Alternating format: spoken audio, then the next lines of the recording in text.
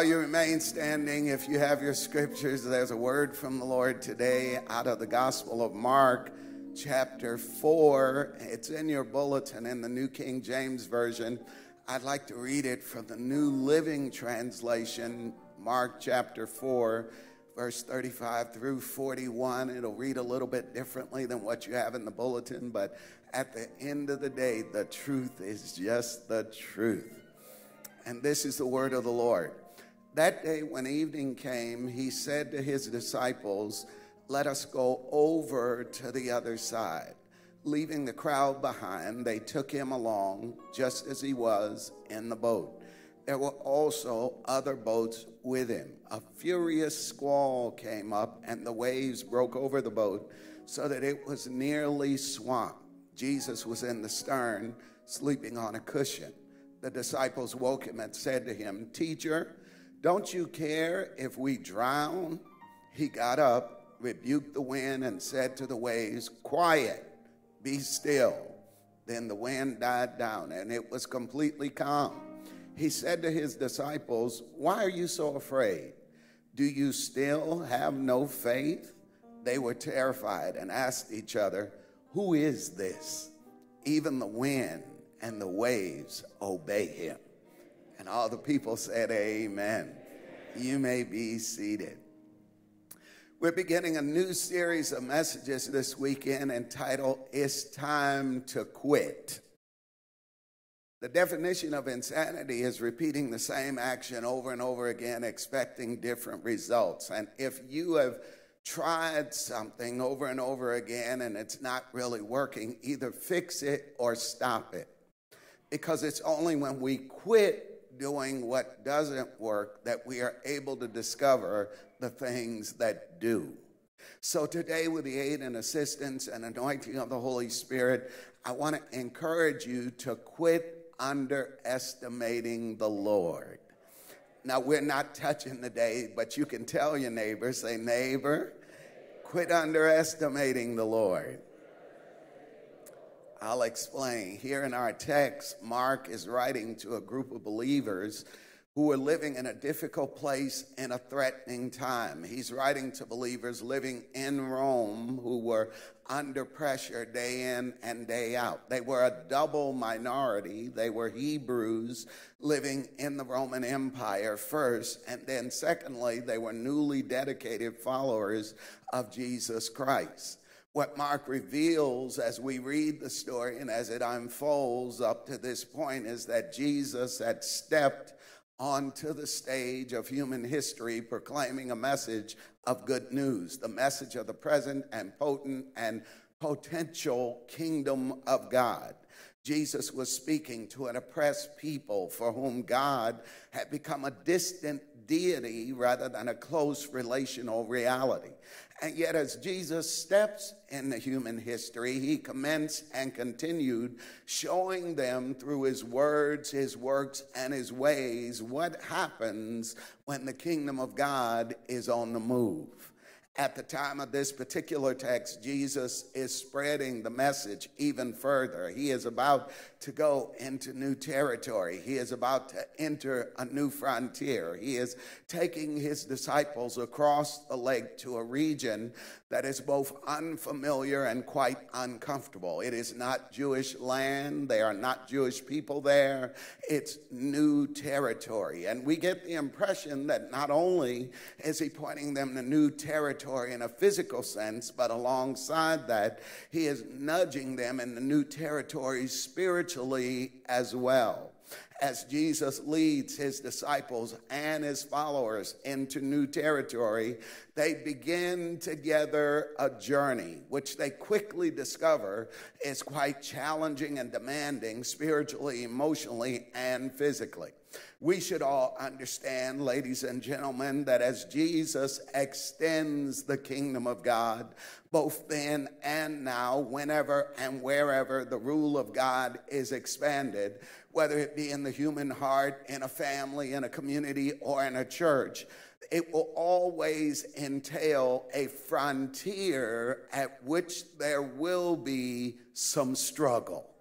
Throughout Scripture. These frontiers appear to be, seem to be guarded sometimes by difficulty, sometimes by confusion, sometimes by hindrances, and sometimes by outright enemy resistance and opposition. And we get an illustrated glimpse of this encounter in the text that we are teaching today let me reiterate that whenever and wherever God decides to lead a person, me or you, into new territory, whenever and wherever God decides to open up a new door, make a new way, create a new opportunity, or speak potential possibility or promise over an individual or over a community, the first things, the first events that often happen after that decision appear to be the exact opposite of what God has said. Joseph gets told that he is going to do great things, but first he ends up in prison. David is promised that he is going to be the next king, but first he has to endure years as a fugitive in the wilderness. The Hebrews are promised a good, lush, and fertile promised land, but first they have to battle the Jebusites, the Amorites, the Hittites, the Girgashites, and maybe even the Shilites, I don't know, who were living in that land. And in the same way, my brothers and sisters, it, it, when you and I are on a journey with Jesus Christ, we should expect there to be some struggle. He is leading us even now in the new places and spaces, new challenges and contests, new paradigms and possibilities, new adventures and new frontiers. It may be for you something personal, an area of growth in your heart or in your life. It may be an area of transformation. It may be concerning your job or your responsibilities, your family or your children. It may may be your presence and participation in the community or in the church. But it is often the will of God to push us out of our comfort zone so that He can lead us in the new territory and the kingdom of God can be expanded. And often we discover to our dread and our dismay that as we go with the Lord, as we journey with Jesus, it will first take us through an unwanted, unanticipated, and unexpected storm. Lake Galilee in the text was known for its storms. They were often sudden, fierce, and incredibly chaotic.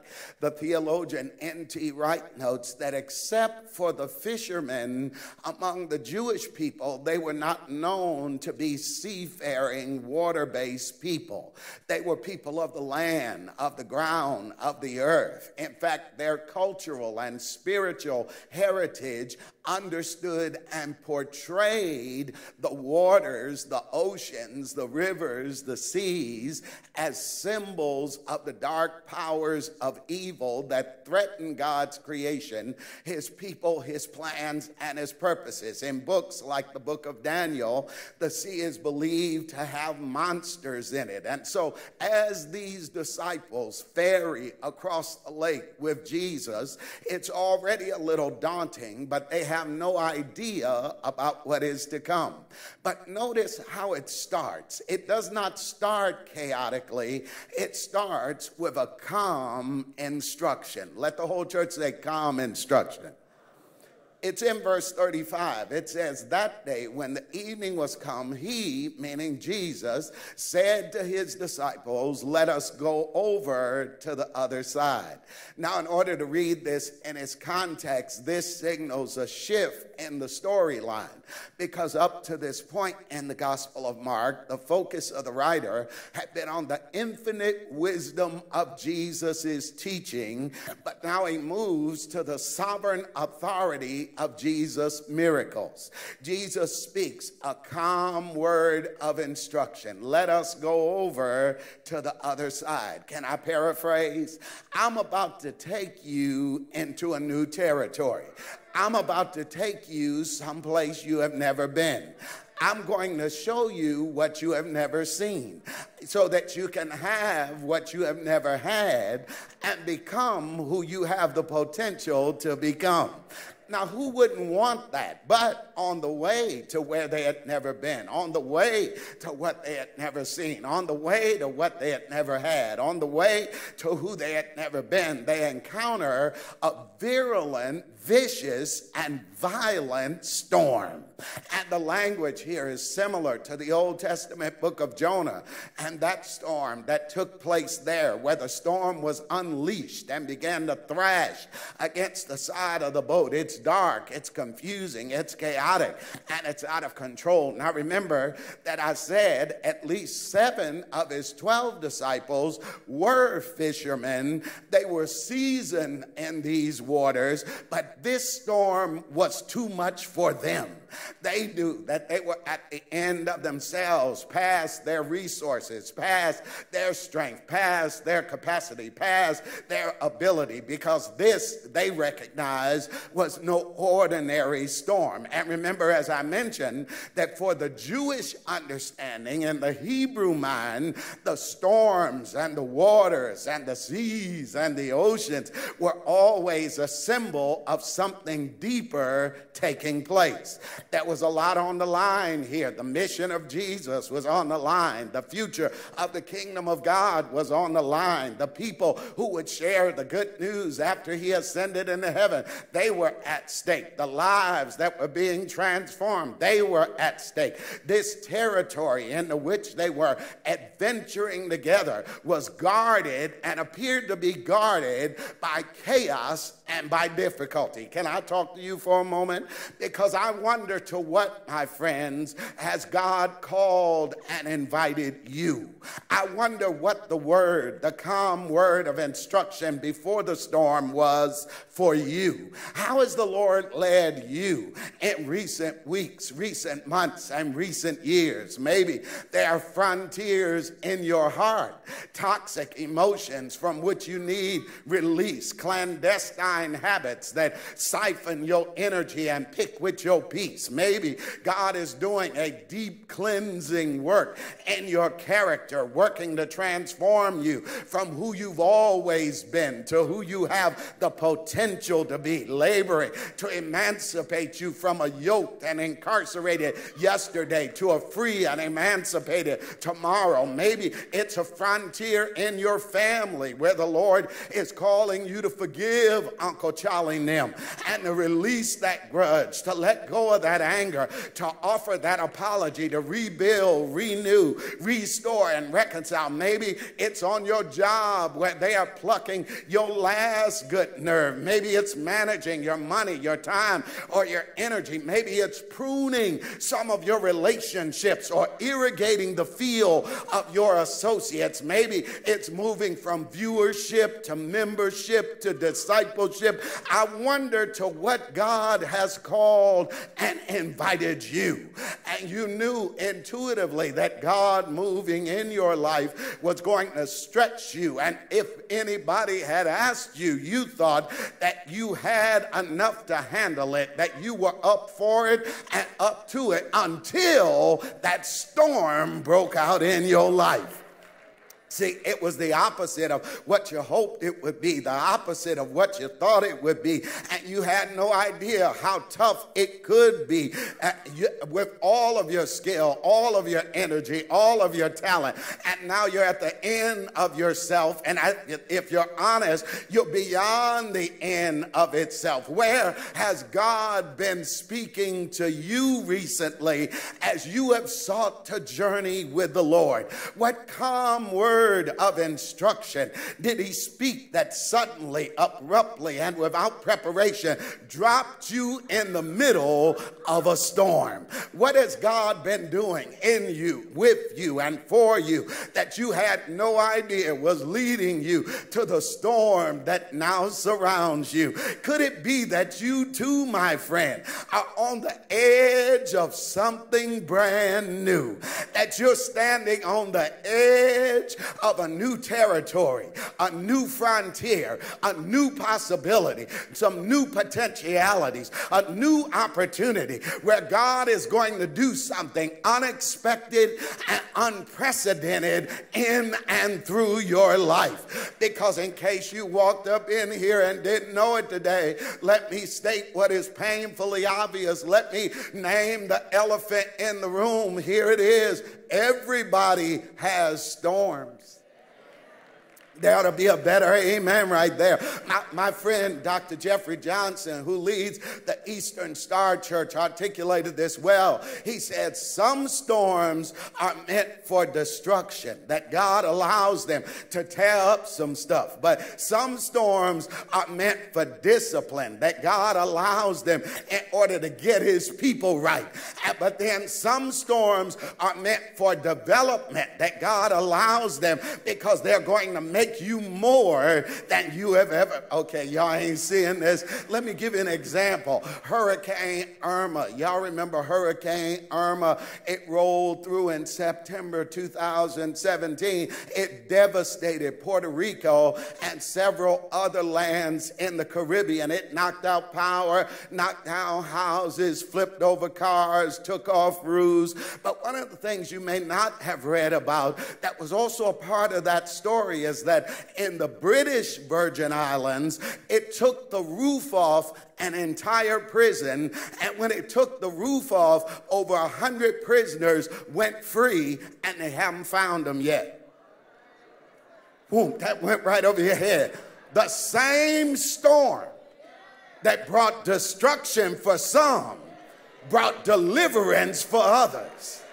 See, everybody has storms. Dr. Harry Wright, who used to be president of Bishop College in Texas, pointed out that all of us are either in a storm, just coming out of a storm, or on your way to a storm. And so, since you don't know where your storm is, you better pay attention to this word today because it started with a calm word of instruction, but without warning, they were moved from calm instruction to a chaotic incident. It picks up in verse 36 where it says, Leaving the crowd behind, they took him along just as he was in the boat. There were also other boats with them, a furious squall, a terrible tornado, a, a, a vicious storm broke out and the waves broke over the boat so that it was nearly swamped. And here's a footnote Jesus was in the stern, sleeping on a cushion. The calm quickly retreats into chaos because of changing circumstances and a sleeping Christ. People are throwing up over the side of the boat, uh, they are fighting and crying and screaming and hollering and trying to find a way through, and Jesus is asleep. Changing circumstances can create chaos in your life. There ought to be five witnesses right there. And yet Jesus is so confident in God's power and presence that he can rest on a pillow. He knew beyond a shadow of a doubt that they were going to make it to the other side of the lake. Why? Because he had a divine assignment on the other side an assignment to confront and change a demon possessed man living in the cemetery, mutilating himself, engaging in all types of bizarre behavior, but who would turn out to be a central figure in God's plan to expand the good news of the kingdom kingdom of God throughout the region of Gadara. And therefore, since Jesus knew God had a plan, a storm would never stop the Savior. But the disciples were upset and uneasy because Jesus was obviously unaffected, notably uninvolved, and painfully passive in the midst of all the chaos that they were going through. Now, I don't know if you're that honest, and I don't know if this is your story, but I can identify identify with these disciples in the ship because I find those are the most vulnerable moments in my own life and in my own walk with the Lord. It's not necessarily when I feel the Lord is far away, it's when I know He is there, but He just don't seem to be doing nothing. Okay, y'all ain't that honest. Amen. See, there's nothing like feeling helpless. There's nothing like feeling exposed and vulnerable. There's nothing like feeling powerless in a situation. It's so countercultural to how we like to live our lives. And it exposes something. And these disciples of Jesus listened to it. They said, Teacher, don't you care if we drown? These are the words of the desperate and the angry. Their sentiment is revealed in how they address Jesus. They don't call him Lord, they don't call him Savior, they don't call him Master, they call him Teacher, a synonym for rabbi, a synonym in contemporary moments for how Baptists would talk to this pastor, Rem Okay, I ain't got no Baptists here today. See, but remember, several of these disciples were fishermen who knew this lake inside and out. Jesus was a carpenter turned preacher. He was not a fisherman. What does Jesus know about the sea? Moreover, what can Jesus do in a storm? Pay attention to the details. Notice that they do not ask Jesus to do anything because they did not think he could. Y'all ain't ready. They concluded prematurely that this was beyond his wheelhouse. This was beyond his area of expertise. They completely underestimated the Lord. Their question was not, Lord, can you help? Lord, will you rescue? They asked, Lord, do you care? They didn't ask him to fix it. They didn't ask him to change it. They didn't ask him to stop it. They didn't ask him to to help us navigate through it, they angrily ask, Do you care? We about to drown. We about to die. And you trying to get some sleep. You supposed to be a preacher, ain't you? Can't you wake up, read a scripture, say a prayer, give a benediction, do something? Do that preacher stuff y'all do. See, R.C. Sproul comments, he said, How like the creature to rebuke the creator. Their question is a rebuke which betrays their disbelief. Uh, Jesus, is this how it all ends? Is this what it was all for? All those miracles, all those sermons, all those parables? Is this how it's going to end? At the bottom of a lake? We risk everything for you. We've been criticized for you. We've been isolated for you. We've been ostracized for you. Our friends have talked about us. Our family have called us a fool. Is this how how it all ends in the lake in a storm, they underestimated Jesus. They didn't ask him to do anything because they didn't believe that he could. And somebody better hear me today because I want to caution you, my dear friends assembled in this place, don't doubt the Lord when you're going through a storm because Jesus can be trusted even when the storm is raging. I knew I'd have a few witnesses there. This is a critical issue in our moments of challenge. It was a pivotal concern for the disciples traveling across the lake that day. It was a critical question for the first listeners to Mark's gospel in Rome undergoing incredible persecution. It's an important question for you and me right now with bills to pay, with kids to raise, with jobs to handle, with enemies to negotiate, as we watch others go through the storm, and as we encounter our own storm, the question becomes do you really believe that the Lord can handle whatever you face, or have you underestimated Him? Because permit me to say it again, Jesus can be trusted even when the storms are raging. He doesn't have to move or respond or react when you want, how you want, and the way you want. But if he doesn't, that don't mean he can't preach, brother. Amen. He doesn't have to move or respond or react in the way that you want, how you want, when you want. Because hear me well, there are no emergencies with the Lord. You got to grab that one. Wait, there are emergencies for you, and there are emergencies for me. There are things that catch you off guard and things that catch me off guard. But there's nothing that catches the Lord off guard. He sees the end from the very beginning.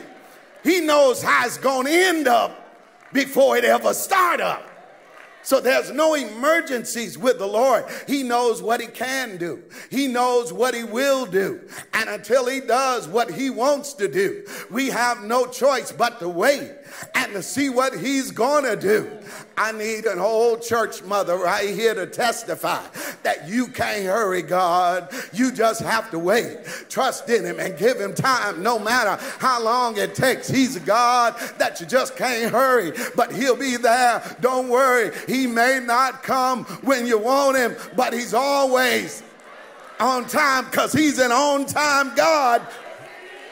Yes, he is. See, the primary point of this pericope peeks at us from verse 36. It's so subtle, it's easy to miss it because this story is ultimately not about the storm, nor is it about the ship. It's not about whether there's a storm in your life, but the whole point of this pericope is whether or not Jesus is on your boat.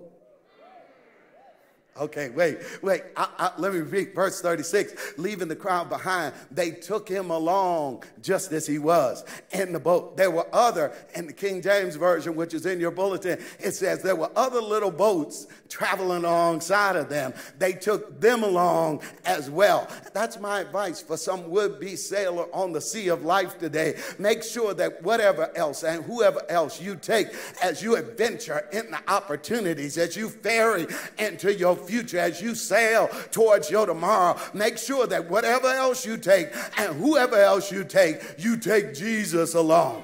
There were some ships sailing near them that didn't have him on board, but make sure, my friend, that whatever else you take and whoever else you take, that you take Jesus on your boat. Take him along because if Jesus is on board, uh, uh the ship may shake, but it will never sink. If Jesus is on board, the storm may rise, but you'll get through it. If Jesus is on board, people may doubt, but he will deliver.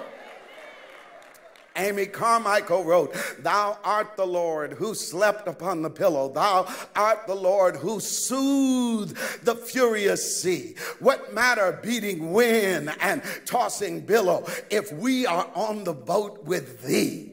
Take him along because as they did, they moved beyond the chaotic incident, still with the calm instruction to a confident conclusion because they were not alone in the chaos. Jesus Jesus was there with them. It's important for us to note that because how does Jesus respond? Real quick. First of all, he speaks to the storm.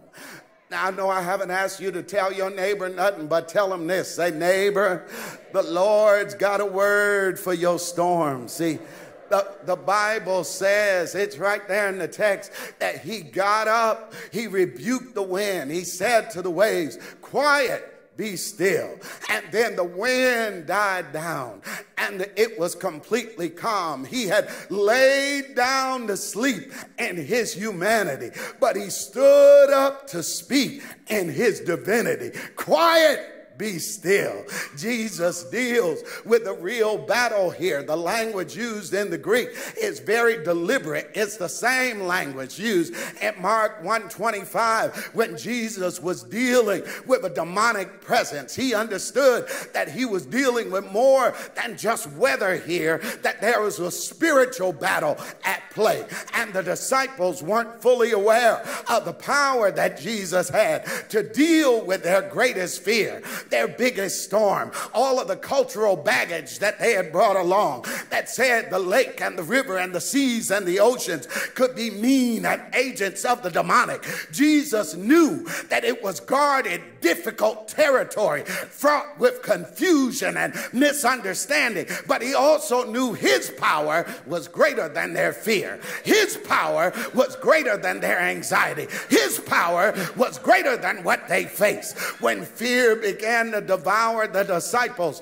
when they were drowned by their worries and swamped by their anxieties. Jesus spoke a word that was stronger, mightier, and greater. He speaks to their storm. When I, am a child of the church, and when I was coming up as a boy, the old people had a song that they would sing every now and then called Blessed Quietness. Holy quiet. I can see y'all know, amen. Holy quietness. What assurance in my soul. And the second chorus said, On the stormy sea, Jesus speaks to me, and the billows cease to roll. The, the first thing thing that he did was speak to their storm. But notice the second thing he does is deal with the disciples. He asked them, Why are you so afraid? Do you still have no faith? Now, in the Greek language from which the English is derived, the phrase is actually rendered like this This is the moment to take the faith I've given you and put it to work. Y'all ain't ready, amen. See, that is one thing to have faith, it's another thing for faith to have you. It's another one thing to possess your faith, it's another thing to work your faith. Because everybody talking about faith ain't got no faith. But it's not until the storm breaks out See, on one level, it's real clear why they were afraid. They were about to drown. But Jesus asked the question, Follow me, not because he doesn't know the answer. He asked the question in the rabbinical tradition where when a question was raised, it always pointed to a deeper issue. It would bring underlying concerns into the light of examination. When God raises a question with you, it's not because God needs the answer. God already knows the answer. God just wants you to realize the answer. When God was walking in the Genesis narrative through the Garden of Eden and said, Adam, where are you? God wasn't lost. He didn't need GPS says he, he didn't have any problem tracking Adam down. He was trying to get Adam to see where Adam was. Adam identified his existential situation. He said, I'm naked and I'm hiding over here in the bushes. And God immediately knew. He said, Who told you you was naked?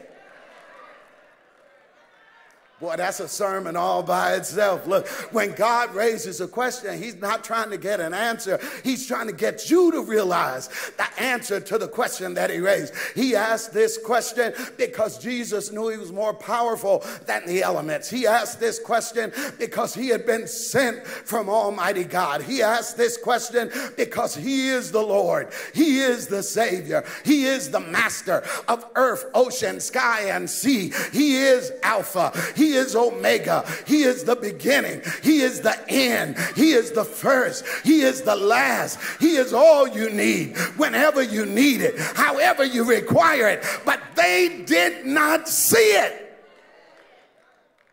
But also, he asked this question because at the very onset, and I know it slipped by you in terms of the way that I read it, he had told them, Let us go over to the other side. He did not say, let's go to the middle. You ain't ready.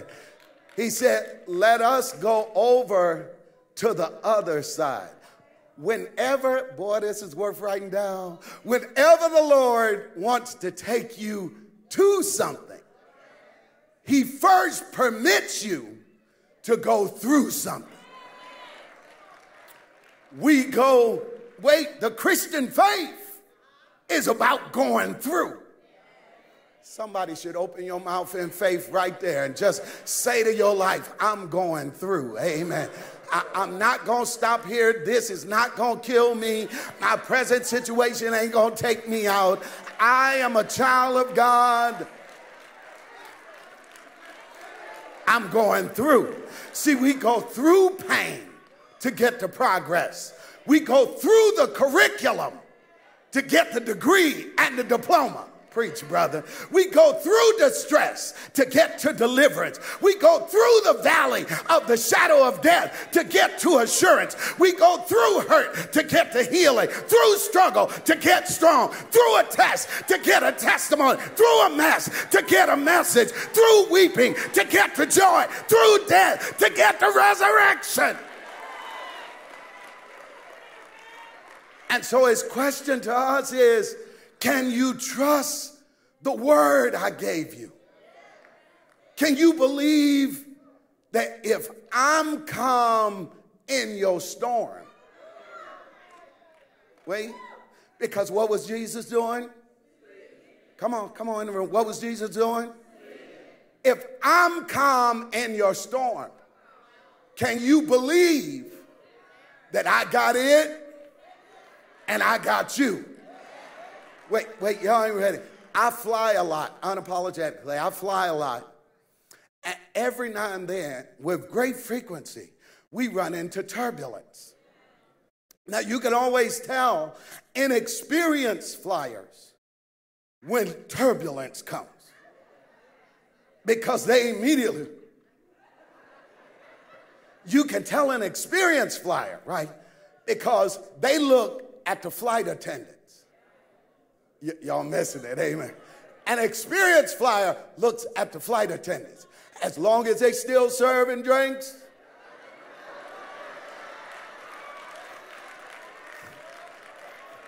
bringing them little biscuit cookies, them Cheetos, we all right. It's a little bumpy. Somebody asked me, they said, Don't you ever get nervous when there's turbulence? I said, No. They said, Why? I said, let me tell you what would make me nervous if I was on a plane. If we ran into turbulence and the captain came over the intercom, intercom and said!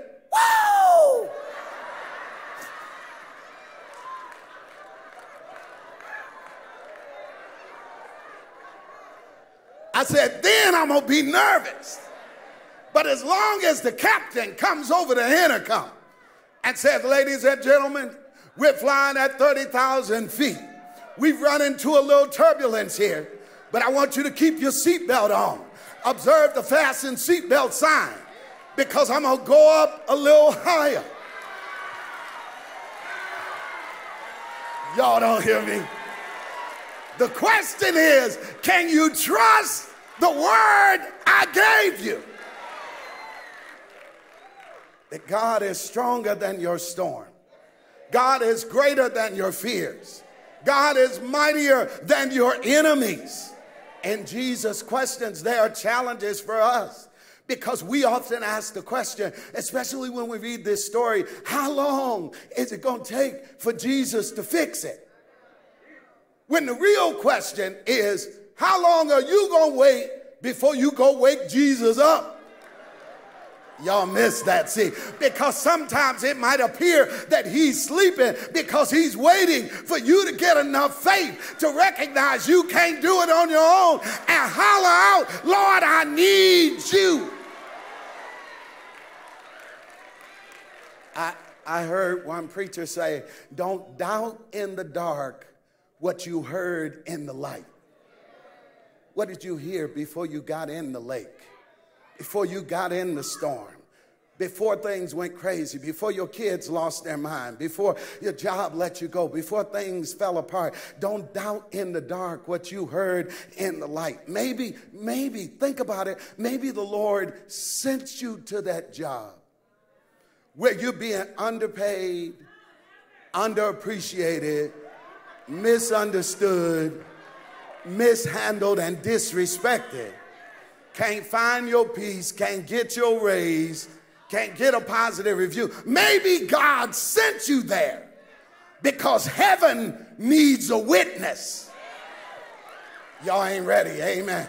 See, see, we think that God gets the glory when everything is well with us. No, when you are doing really bad, if you make God look really good, God gets the glory because those who are watching you go through will say, How in the hell are you going through that hell that you going through? And you can tell them, Nobody but the Lord.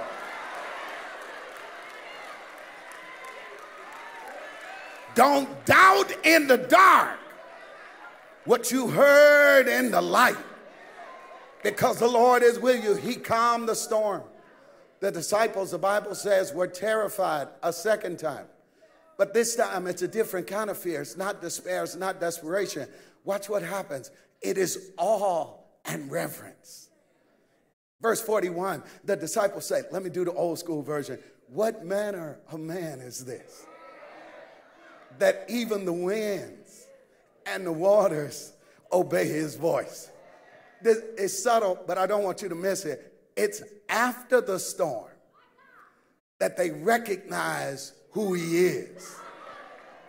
It's after the storm that they get a fresh revelation of his goodness. It's after the storm that they realize he's able to handle you coming into the storm, going through the storm, and coming out. They saw for themselves that he rescues lives, he changes outcomes, he alters future, he transforms situation. What manner of man is this? Because if Jesus can command winds and waves, what is it in your life, my friend, that he cannot fix? There's no burden he can't lift. There's no door he can't open. There's no way he can't make. There's no enemy he cannot defeat. There's no need he cannot meet. There's no problem he cannot solve. There's no sickness he cannot heal. There's no sin he cannot forgive. And there's no soul he cannot save. The storm was mighty,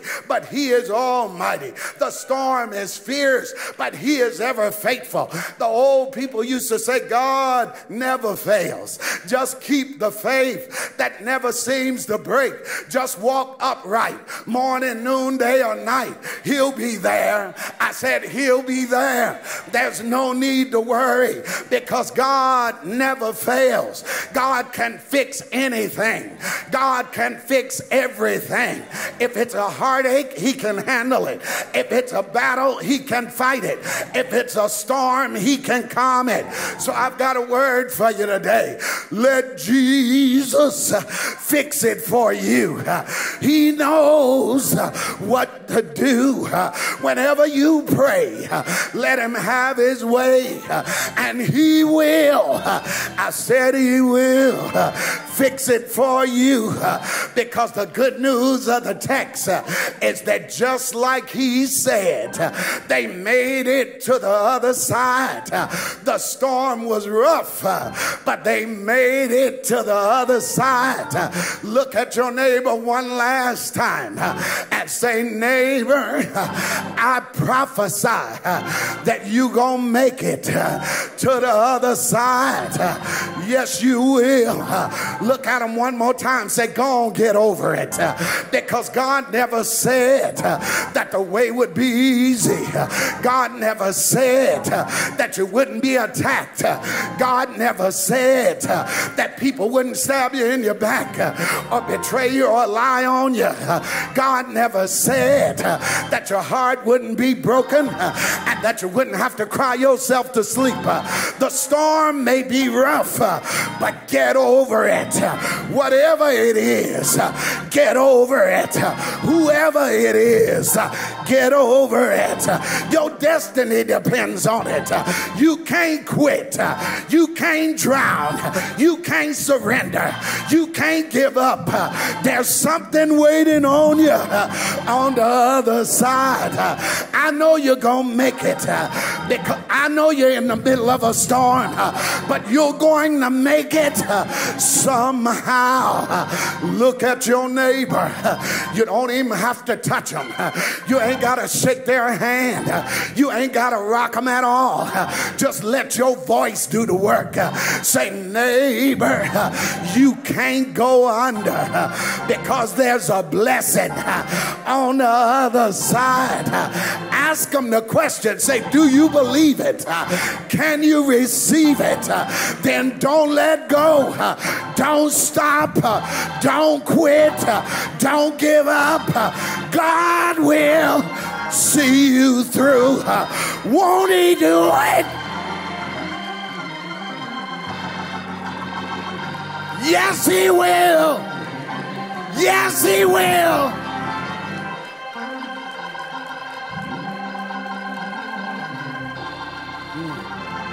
Stand with me.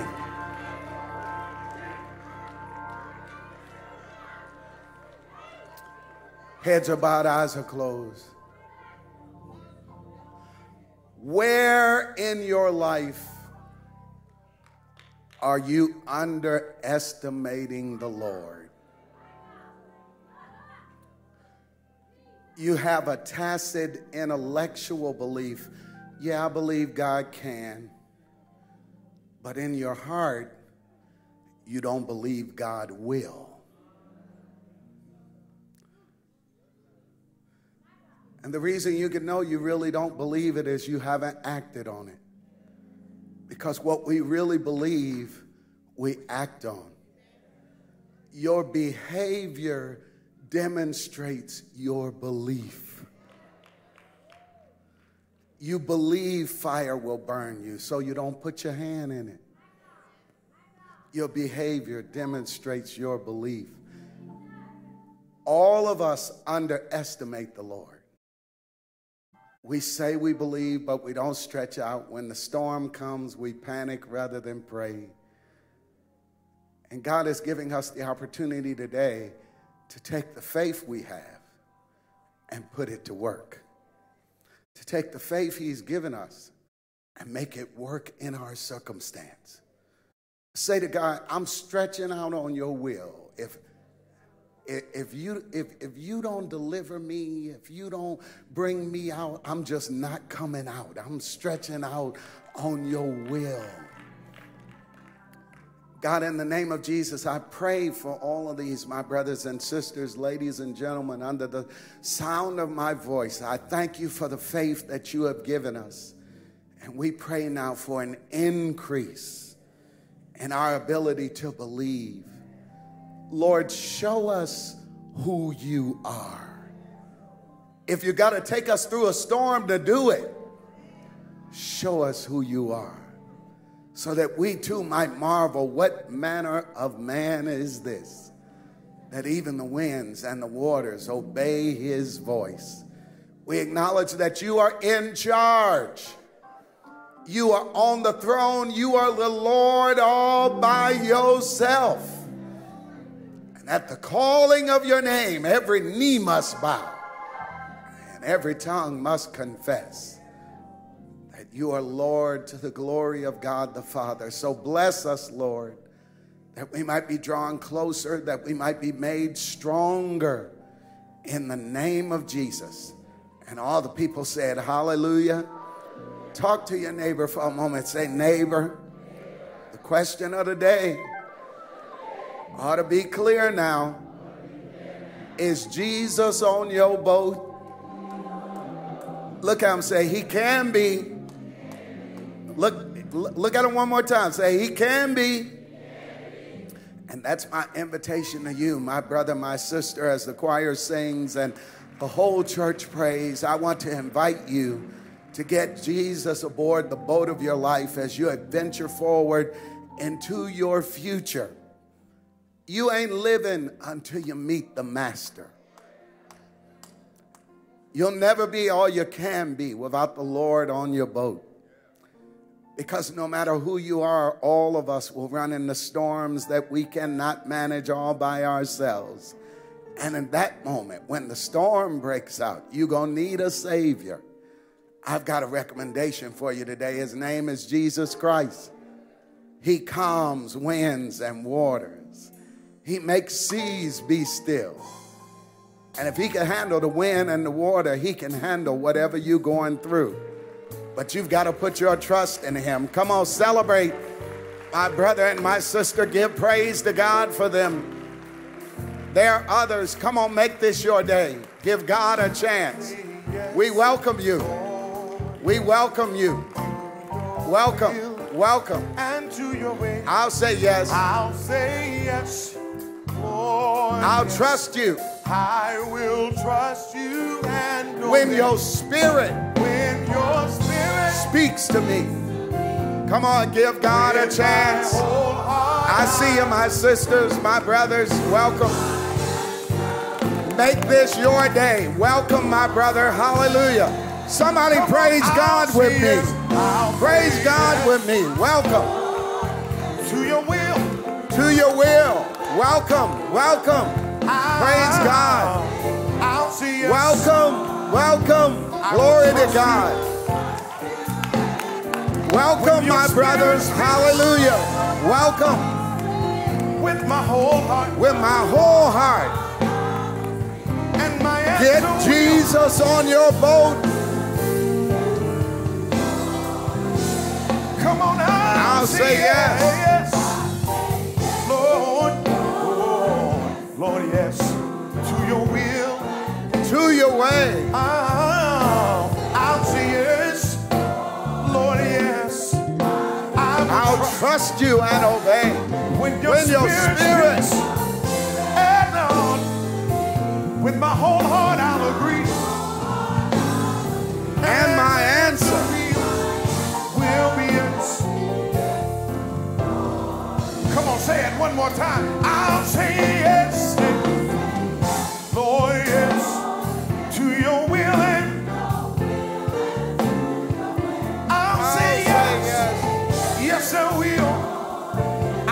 trust you and when your spirit speaks and on, oh, with my whole heart I'll agree and my answer for all of those who came. Help me praise God. You may be seated very quickly. Let me share with you as we prepare to worship God through the giving of our tithe and our offering. And remember, today we are walking around. This is our act of benediction. But as we prepare for that, can I ask you to take out the bulletins that you have been provided? Let me give you a few highlights, brothers and sisters, starting with the front of the bulletin. Our bookstore, Charisma, has products on sale overstock CD, DVD sale going on. They are right outside the door today. Should you care to stop in and to support them? In addition to that, how many of you have children in college or you are in college yourself? Just wave at me if I'm talking to you. We are in the period of scholarship applications. Our community foundation is taking scholarship applications, and that information is on the inside cover of your bulletin. Please pay attention to it because the deadlines are strict deadlines. The requirements are strict requirements because there are only going to be so many awards. But I wanted to make sure that you knew about it in enough time to be able to apply if it applies to you. We are committed to helping men and women achieve their goals in higher education, and we do it through our scholarship fund. In addition to that, right under that announcement, you see an announcement for Blackout RVA. It is our first business networking event of the year. So I'm calling all of our business professionals, business owners, entrepreneurs, those who are dreaming of having your own business to join us on Thursday, April the 16th at 7 o'clock in the place of our regular Bible study in the Commons for Blackout RVA. The event is described in the announcement in the bulletin. We would love to have you, but we do need you to register. It is free, there's no bait and switch. It is a free event, but because we are serving free food, those are two good words. Free food, especially when they're put together. Free food, because we're having free food, we need to get a good head count to know how much food needs to be prepared. So they are registering today out at the kiosk after the service. You can stop by, they'll register you. Or you can register online with the information provided in the bulletin. The very next week, on April the 23rd, as the front cover of your bulletin portrays, we are sponsoring a showcase of St. Paul's Baptist Church authors, artists, and bakers in an event called Books, Beats, and Sweets. And so we're going to showcase several of our authors who have written books. They'll be talking about that process, the purpose behind their publication, etc. Several artists will be performing who are part of St. Paul's, and several of our bakers have already come online, and they're going to be providing samples of their baked goods. And if you didn't know it, especially if you're a visitor, there are people in St. Paul's who can cook. Wait, no, no, no. Okay, take a good look at me, right? I'm a, I'm a little portly. I used to be 150 pounds before I started fooling around with y'all. Amen.